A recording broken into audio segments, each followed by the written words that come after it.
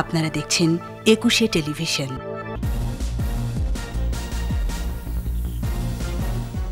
মৃত্যু একশো ছুঁই ছুঁই, শনাক্ত সাত লাখ ছাড়ালো। সংক্রমণ ঠেকাতে কঠোর লকডাউন বিভিন্ন স্থানে পুলিশের ব্যারিকেড তল্লাশ।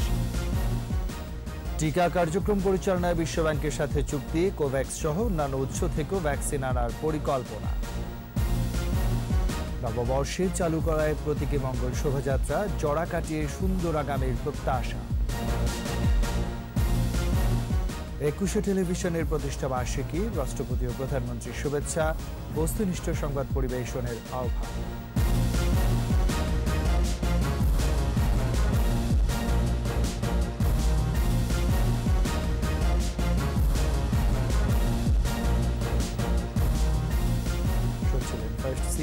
ইসলামী ব্যাংক লিমিটেড সংবাদ শিরোনাম আমন্ত্রণ রাত এগারোটার একুশে সংবাদে সাথে আছি আমি রাজীব জামান। আর দর্শক একুশে টেলিভিশনের সংবাদ একই সাথে সরাসরি দেখতে পাবেন আমাদের Facebook page W W W dot Facebook dot com slash Ekushey twenty four অনলাইনে mega spider ceiling fan mega বাতাসে শান্তির পরশ। এছাড়াও সংবাদে আরও থাকছে করোনায় মারা গেলেন সুপ্রিম কোর্ট বারের সভাপতি আব্দুল মতিন খসরু না ফেরার দেশে অধ্যাপক শামসুজ্জামান খান।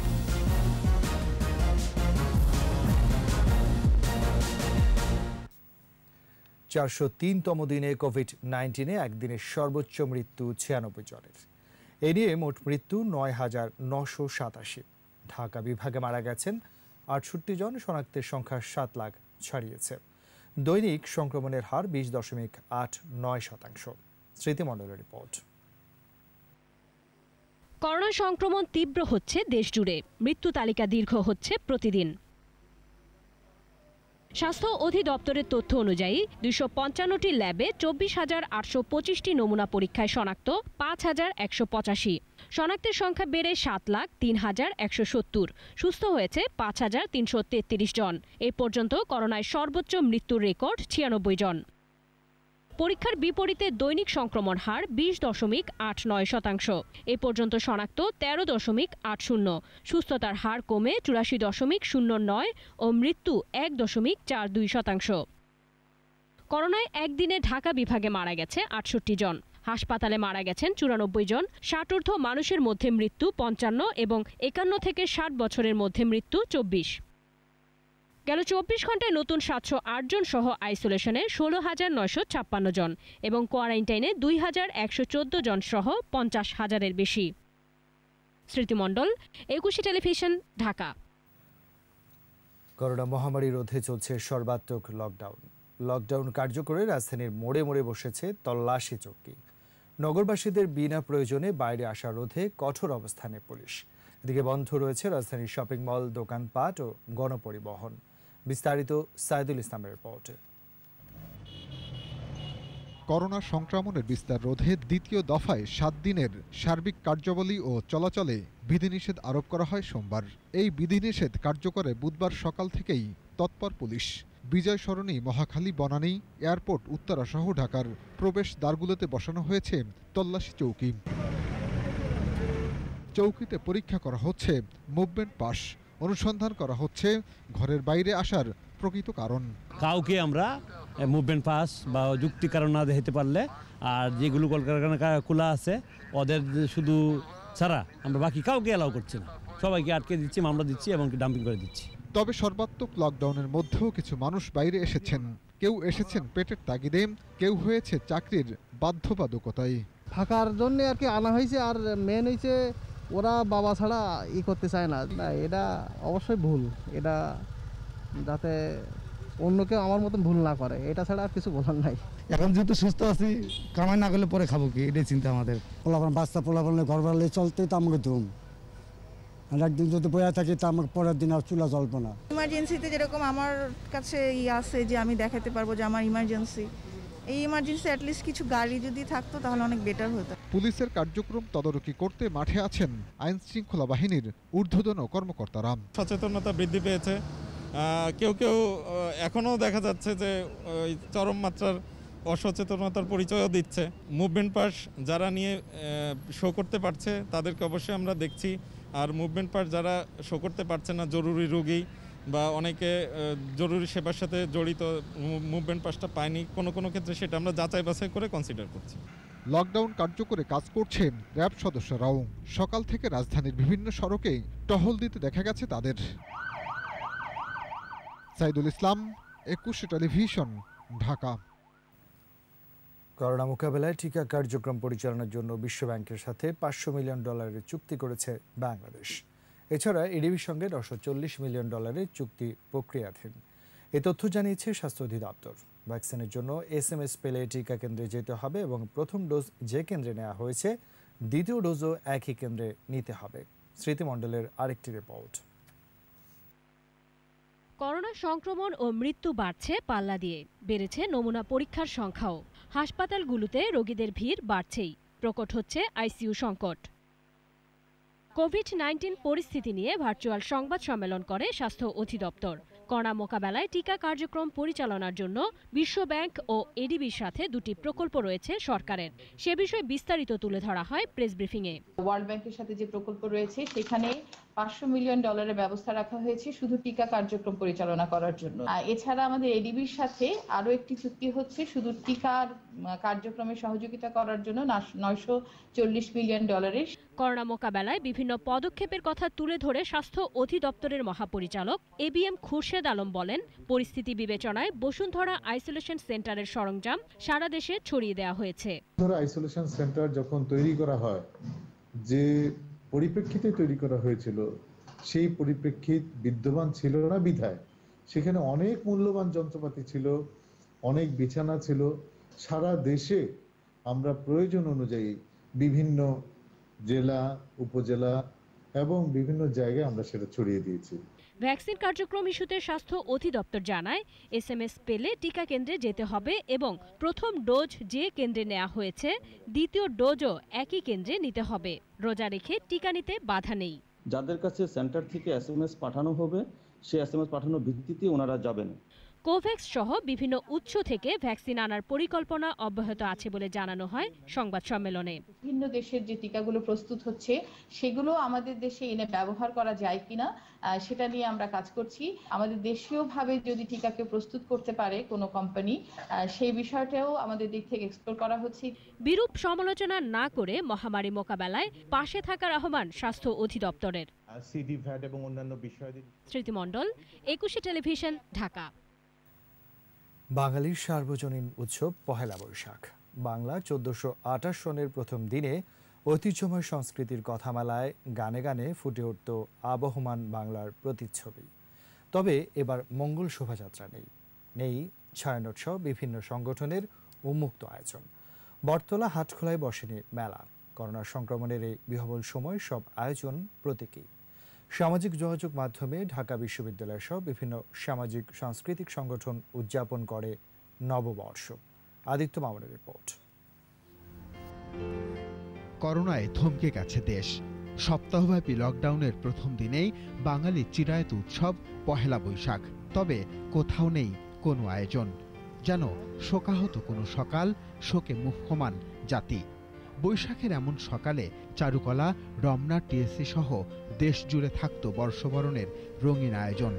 এবার শুধুই বিষাদ, বেদনাভরা নববর্ষ। ঢাকা বিশ্ববিদ্যালয়ের চারুকলা অনুষদের জমজমাট আয়োজন নেই নেই মঙ্গল শোভাযাত্রা। রিক্ত টিএসসি এলাকা। ফাঁকা রমনা বটমূল, নেই হালখাতা, মেলা কিংবা রঙিন চুরির রেনিঝিনি রং বেরঙের পোশাকে নেই উদ্দাম তরুণ তরুণীদের প্রাণবন্ত উপস্থিতি। তবে সামাজিক যোগাযোগ মাধ্যমে বর্ষবরণের আয়োজন করেছে বিভিন্ন সংগঠন। এবারও নববর্ষ বরণ করেছে ছায়ানট। অসাম্প্রদায়িক চেতনায় বাংলাদেশ বিনির্মাণের প্রত্যয় রাখা হয় তাদের সীমিত আয়োজনে। উদিচি শিল্পীগোষ্ঠীর আয়োজনে ছিল বাংলার লোকগান বৈশাখ বন্দনা আর অশুভ থেকে মুক্তির বার্তা। ছিল মৌলবাদী আগ্রাসন রুখে দেওয়ার তাগাদাও। এবার নববর্ষে দেয়া তোর বৈশাখে জামায় ওদের রক্তে ভিজিয়ে তোর পায়ে এনে দেব রে মা। মঙ্গল শোভাযাত্রা করতে না পারলেও শারীরিক দূরত্ব বজায় রেখে প্রতীকী শোভাযাত্রার আয়োজন করেছে চারুকলা অনুষদ। এই দুর্যোগময় পরিস্থিতিতে বাংলা নববর্ষকে স্বাগত জানানোর চিরচরিত ঐতিহ্য মঙ্গল শোভাযাত্রা বের করা সে- সেটি আমরা এবছর সেভাবে পারিনি। সংস্কৃতি প্রতিমন্ত্রী জানান অশুভ শক্তিকে বিতরণ করার অঙ্গীকারে করোনা মোকাবেলাই হোক দীপ্ত শপথ।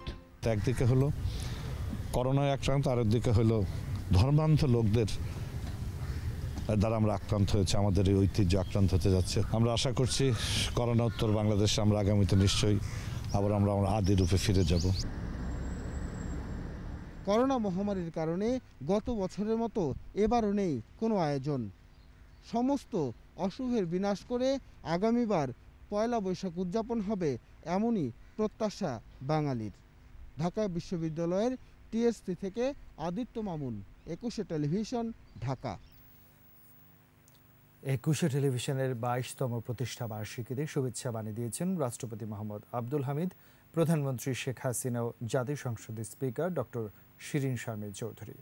আলাদা বাণীতে জাতীয় ও আন্তর্জাতিক ইস্যুতে জনমত গঠন, সৃজনশীল অনুষ্ঠান ও বস্তুনিষ্ঠ সংবাদ পরিবেশনে দায়িত্বশীলতার আহ্বান জানিয়েছেন রাষ্ট্রপতি এবং প্রধানমন্ত্রী। আরও জানাচ্ছেন আকবর হোসেন সুমন।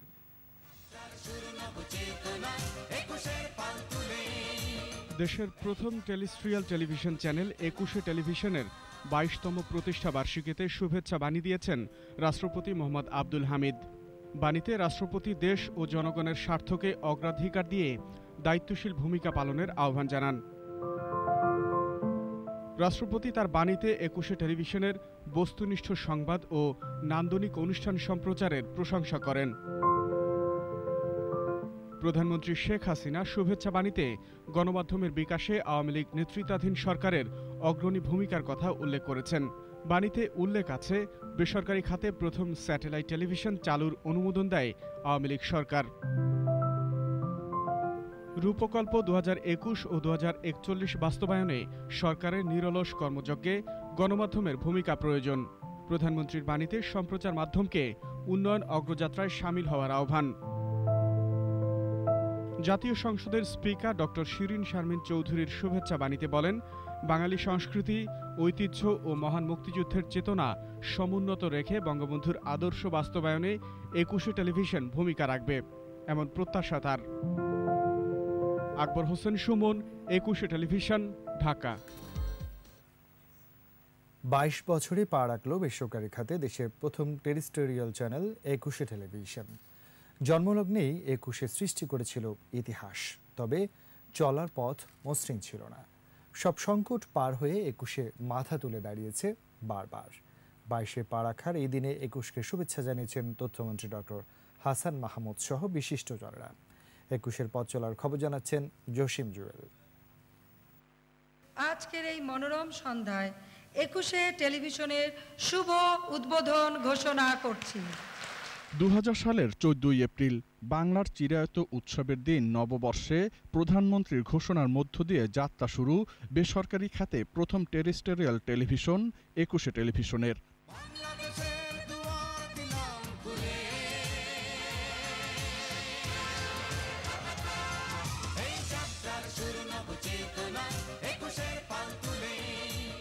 প্রতিষ্ঠা লগ্ন থেকেই একুশ তার বস্তুনিষ্ঠ সংবাদ বৈচিত্র্যময় অনুষ্ঠানের সৌন্দর্য ছড়িয়ে মুগ্ধ করে কোটি দর্শকের মন।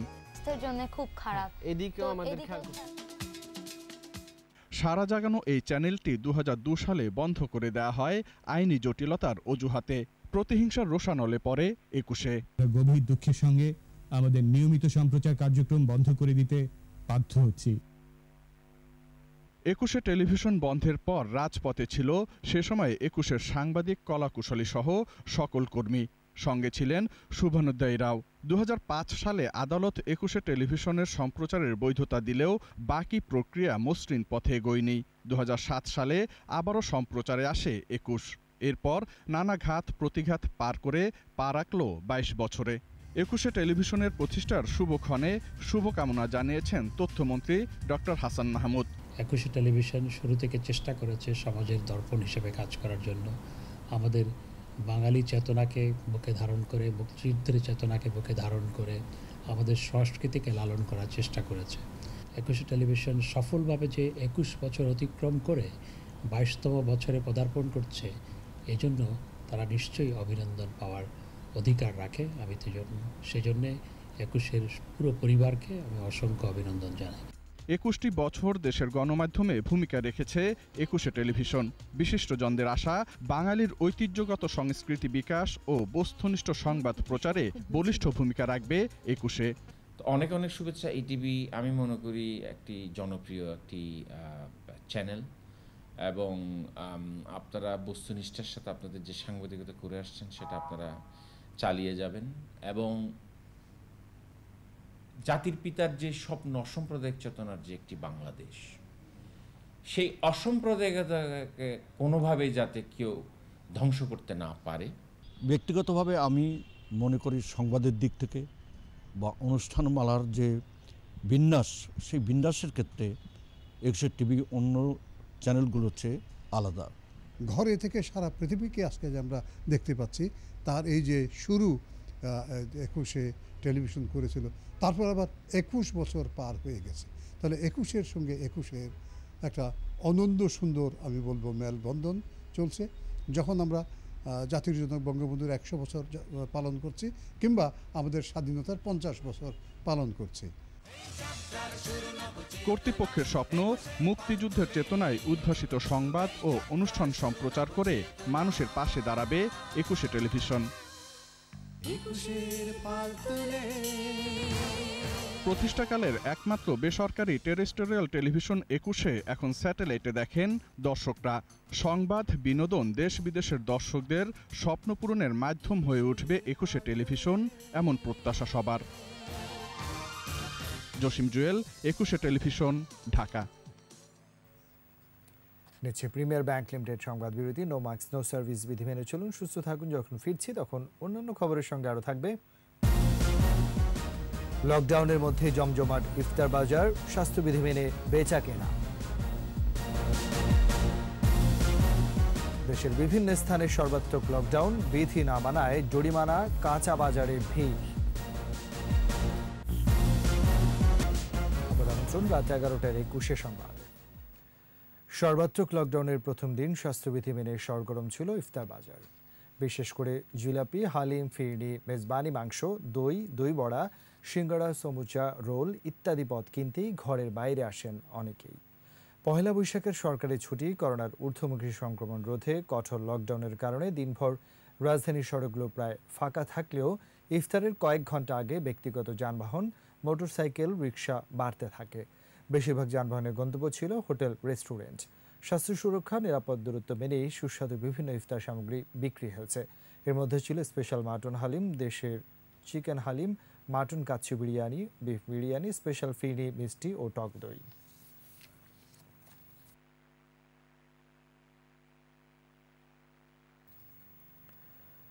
অদৃশ্য শত্রু করোনার বিরুদ্ধে ঘরে বসে সচেতনতার দুর্গ গড়ে তোলার আহ্বান জানিয়েছেন আওয়ামী লীগের সাধারণ সম্পাদক ওবায়দুল কাদের। সরকারি বাসভবন থেকে দেশবাসীকে বাংলা নববর্ষ মাহে রমজানের শুভেচ্ছাও জানান তিনি। সার্বজনীন বৈশাখী আবেগ উচ্ছ্বাস হারিয়ে গেছে মহামারী করোনার আতঙ্কের অন্ধকারে। তবু নতুন আশার মালা গেথে বাঙালির বেঁচে থাকা নিরন্তর লড়াই চলছে। আসুন আমরা অদৃশ্য শত্রু করোনার বিরুদ্ধে ঘরে ঘরে সচেতনতা দুর্গ গড়ে তুলি।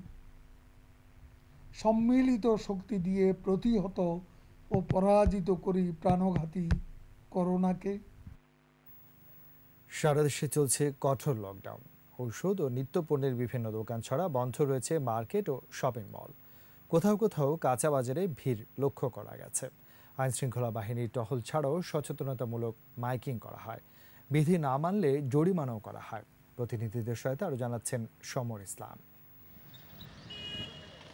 লকডাউনে অনেকটাই ফাঁকা বন্দরনগরী চট্টগ্রাম। জরুরি প্রয়োজন ছাড়া লোকজনকে খুব একটা বাইরে বের হতে দেখা যায়নি।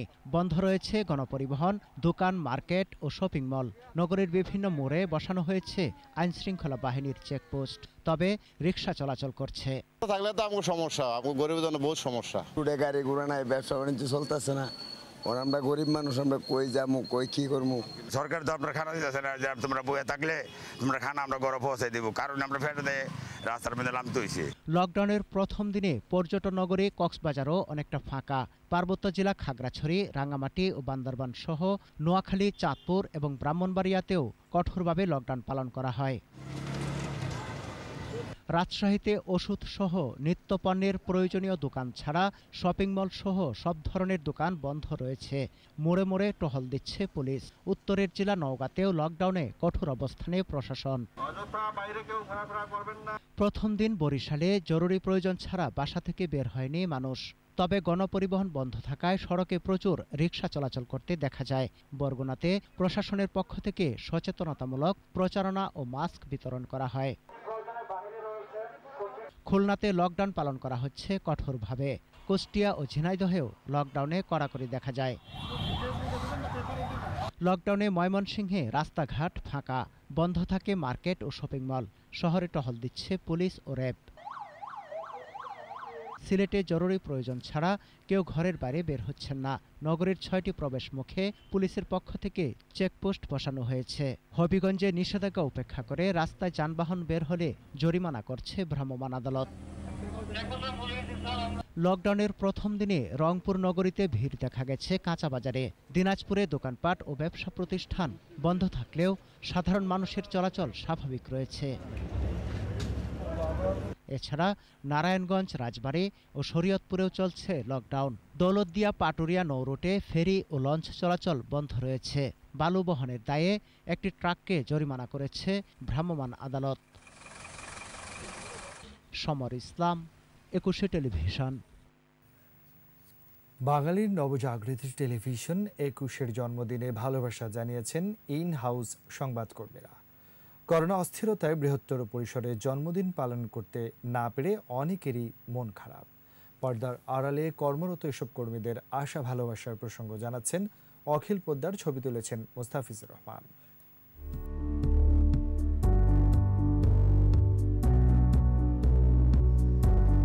মানুষের জীবন কিংবা নদীর যেমন বাঁক থাকে, তেমনি বৃহত্তম আনুষ্ঠানিকতাও পরিবর্তিত হয় কালে ভদ্রে। একুশের একুশ পূর্তিতায় অনেকাংশে ম্লান, নিরাভরণ কিংবা ভালোবাসার মৃদু কম্পনে উদযাপিত।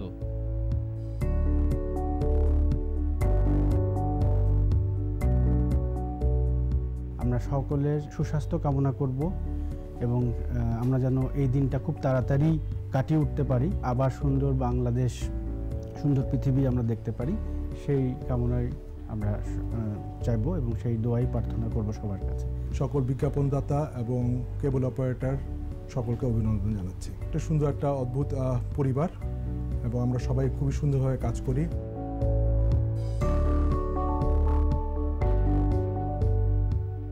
বছর ধরে টেলিভিশনের পর্দায় যাদের যায় না দেখা, কিছুটা হলেও ব্যস্ত তারা প্রিয় টিভির জন্মদিনে।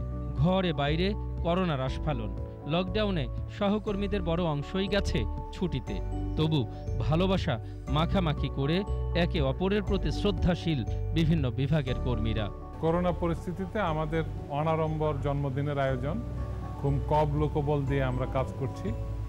তারপরেও আমাদের আয়োজন ছোট হলেও আমাদের উচ্ছ্বাসের কমতি নেই। আমরা এবার পালাক্রমে কাজ করছি এবং স্বাস্থ্য সচেতন এবং সরকারের নির্দেশনা মেনেই এবছর আমরা কাজ করে যাচ্ছি। ক্যামেরার পিছনে থেকে সব সম্পূর্ণ প্রোগ্রাম এবং নিউজ ডিপার্টমেন্টকে সহযোগিতা করে কাজটা সুন্দরভাবে স্ক্রিনে ফুটায় তো বিগত দুই বছর ধরে কোনো আয়োজন ছাড়াই স্বাস্থ্যবিধি মেনে আমাদের জন্মদিন উদযাপন করা হচ্ছে।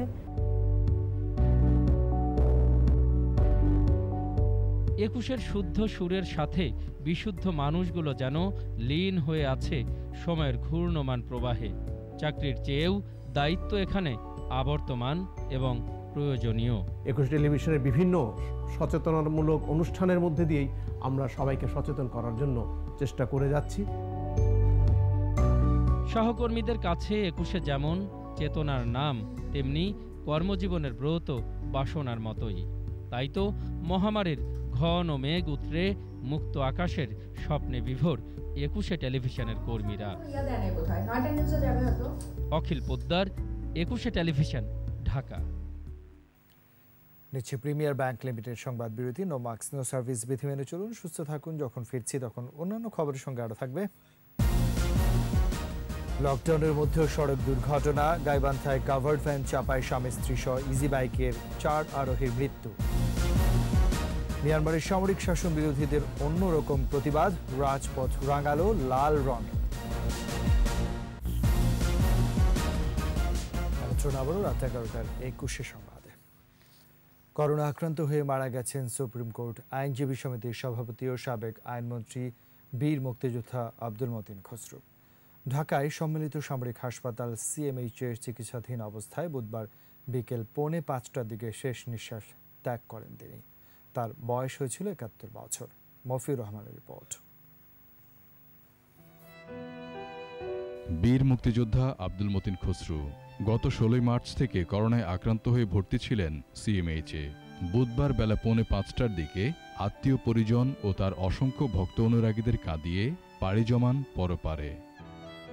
উনিশশো পঞ্চাশ সালে কুমিল্লার ব্রাহ্মণপাড়ার মিরপুর গ্রামে জন্মগ্রহণ করেন তিনি। শিক্ষাজীবন শেষে উনিশশো আটাত্তর সালে কুমিল্লা জজ কোর্টে আইন পেশায় যুক্ত হন আব্দুল মতিন খসরু। পরে উনিশশো বিরাশি সাল থেকে বাংলাদেশ সুপ্রিম কোর্টের হাইকোর্ট বিভাগে নিয়মিত প্র্যাকটিস শুরু তার।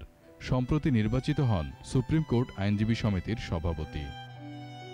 তিনি উনিশশো একাত্তর সালে মহান মুক্তিযুদ্ধে সক্রিয়ভাবে অংশগ্রহণ করেন এবং কুমিল্লা জেলার বড়িজং থানার মুক্তিযোদ্ধা কমান্ডার ছিলেন। আওয়ামী লীগের প্রেসিডিয়াম সদস্য মতিন খসরু কুমিল্লা পাঁচ আসনে পাঁচবারের সংসদ সদস্য। উনিশশো ছিয়ানব্বই থেকে দু হাজার এক সালে তিনি সরকারের আইনমন্ত্রীর দায়িত্ব পালন করেন। ভোটার তালিকায় তাদের নাম থাকতে হবে। স্ত্রী পরিজন ছাড়াও তিনি রেখে গেছেন এক ছেলে ও এক মেয়ে। মফিউর রহমান একুশে টেলিভিশন ঢাকা। করোনা আক্রান্ত হয়ে না ফেরা দেশে চলে গেলেন বাংলা একাডেমির সভাপতি লেখক গবেষক এবং বিশিষ্ট ফোকলোরবিদ অধ্যাপক শামসুজ্জামান খান। বুধবার দুপুর দুটার দিকে বঙ্গবন্ধু শেখ মুজিব মেডিকেল বিশ্ববিদ্যালয় হাসপাতালে তিনি মারা যান। তার বয়স হয়েছিল একাশি বছর। মফির রহমানের আরেকটি রিপোর্ট অধ্যাপক শামসুজ্জামান খান, করোনা আক্রান্ত হয়ে আটই এপ্রিল ভর্তি হন বঙ্গবন্ধু শেখ মুজিব মেডিকেল বিশ্ববিদ্যালয় হাসপাতালে। পরে অবস্থার অবনতি হলে আইসিইউতে স্থানান্তর করা হয় তাকে। বুধবার দুপুর দুইটার দিকে শেষ নিঃশ্বাস ত্যাগ করেন তিনি। কর্মজীবনে সর্বশেষ ছিলেন বাংলা একাডেমির সভাপতি। এর আগে দু হাজার নয় সালের চব্বিশে মে থেকে দু হাজার আঠারো সালের বারোই ডিসেম্বর পর্যন্ত একই প্রতিষ্ঠানের মহাপরিচালকের দায়িত্ব পালন করেন। গুনি এই ব্যক্তি উনিশশো চল্লিশ সালের উনত্রিশে ডিসেম্বর জন্মগ্রহণ করেন মানিকগঞ্জ জেলার চারি গ্রামে। শিক্ষাজীবন শেষে উনিশশো চৌষট্টি সালে মুন্সীগঞ্জ হরগঙ্গা কলেজের বাংলা বিভাগের প্রভাষক হিসেবে যোগদান করেন। একই বছর তিনি বর্তমান জগন্নাথ বিশ্ববিদ্যালয়ে সহকারী অধ্যাপক হিসেবে যোগদান করেন। তাঁর রচিত ও সম্পাদিত গ্রন্থের সংখ্যা শতাধিক। উল্লেখযোগ্য কাজের মধ্যে রয়েছে বাংলাদেশের লোকজ সংস্কৃতি গ্রন্থমালা শিরোনামে চৌষট্টি খণ্ডে চৌষট্টি জেলার লোকজ সংস্কৃতির সংগ্রহশালা সম্পাদনা এবং একশো চোদ্দ খণ্ডে বাংলাদেশের ফোকলোর সংগ্রহমালা সম্পাদনা। অধ্যাপক শামসুজ্জামান খান একুশে পদক ছাড়াও বাংলা একাডেমি পুরস্কার, স্বাধীনতা পুরস্কার, অগ্রণী পুরস্কার শহীদ সোহরাওয়ার্দী জাতীয় গবেষণা পুরস্কার সহ নানা পুরস্কার পান। তিনি বাংলাদেশ জাতীয় জাদুঘর বোর্ড অফ ট্রাস্টিজের চেয়ারম্যান ছিলেন। এছাড়া মহাপরিচালক ছিলেন বাংলা একাডেমি, শিল্পকলা একাডেমি এবং জাতীয় জাদুঘরের। মফিউর রহমান, একুশে টেলিভিশন, ঢাকা। গাইবান্ধার গোবিন্দগঞ্জে কাভার্ড চাপায় স্বামী স্ত্রী সহ চারজন নিহত হয়েছে। এছাড়া পৃথক সড়ক দুর্ঘটনায় নারায়ণগঞ্জে দুজন ও মাগুরায় নিহত হয়েছে আরও একজন। বিকেলে গাইবান্ধার গোবিন্দগঞ্জ উপজেলার দরবস্ত কালীতলায় যাত্রীবাহী ইজি বাইককে চাপা দেয় মাল বোঝাই কাভার্ড ভ্যান এতে সাতজন আহত হয়, তাদের উদ্ধার করে বিভিন্ন হাসপাতালে পাঠায় স্থানীয়রা। সন্ধ্যায় চিকিৎসাধীন অবস্থায় রংপুর মেডিকেল কলেজ হাসপাতালে আনিসুর রাজিয়া নামে স্বামী স্ত্রী মারা যান। এছাড়া গোবিন্দগঞ্জ উপজেলা স্বাস্থ্য কমপ্লেক্স ও বগুড়া জিয়াউর রহমান মেডিকেল কলেজ হাসপাতালে দুজনের মৃত্যু হয়।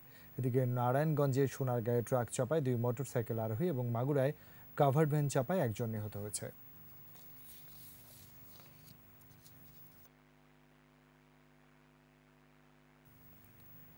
ময়মনসিংহের পুরনো ব্রহ্মপুত্র নদে গোসল করতে নেমে মারা গেছে তিন শিশু। তারা হলো নগরীর শানকিপাড়ার আবুল বাসার রতনের ছেলে আহাদ, নাসিরুদ্দিনের ছেলে স্যাম এবং অজ্ঞাত এক শিশু। তাদের বয়স দশ বছরের নিচে। ফায়ার সার্ভিস স্থানীয়রা জানায়, দুপুরে নগরীর শিল্পাচার্য জয়নুল উদ্যানের পাশে পুরনো ব্রহ্মপুত্র গোসল করতে নেমে আহাদ ও তার পাঁচ বন্ধু এক পর্যায়ে তলিয়ে যায় তারা। খবর পেয়ে ফায়ার সার্ভিস কর্মীরা পাঁচজনকে উদ্ধার করে ময়মনসিংহ মেডিকেল কলেজ হাসপাতালে নিয়ে গেলে চিকিৎসক তিন শিশুকে মৃত ঘোষণা করেন।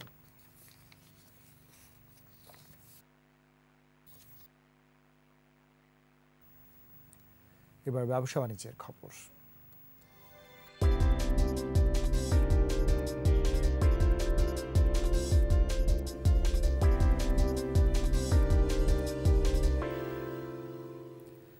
সুয়েজ খালে আটকে পড়া জাহাজের মালিক পক্ষকে নব্বই কোটি ডলার জরিমানা করেছে মিশর।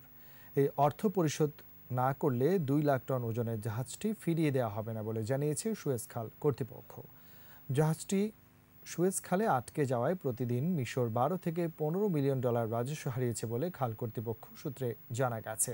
এদিকে ক্ষতিপূরণের অঙ্ক কীভাবে নির্ধারণ করা হয়েছে সে বিষয়ে জাহাজটির মালিক প্রতিষ্ঠান সোয়েই কিসেন কাইসাকে কিছুই জানানো হয়নি বলে দাবি করা হয়।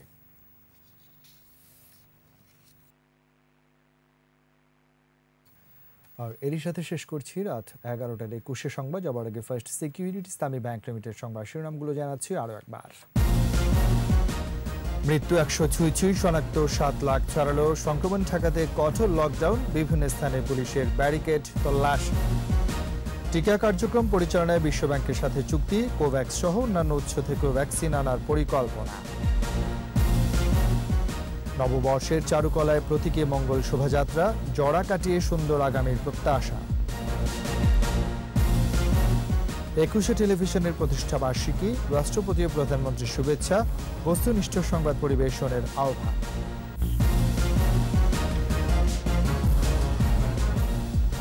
সর্বশেষ খবর জানতে ডায়াল করুন টু জিরো টু নম্বরে ভিজিট করুন একুশে ডাস টিভি ডট কম ওয়েবসাইট। এছাড়া ফেসবুকে লগ ইন করতে পারেন Facebook dot com slash Ekushey twenty four অনলাইনে এই পরের সংবাদ রাত একটায় দেখার আমন্ত্রণ রইল। স্বাস্থ্যবিধি মেনে চলুন, সুস্থ থাকুন, একুশের সাথেই থাকুন।